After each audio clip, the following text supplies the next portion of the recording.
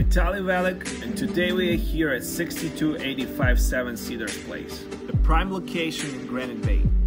This property is 1.2 acre lot with detached guest house and just minute from the golf club and beautiful Folsom Lake. Let's take a look at it.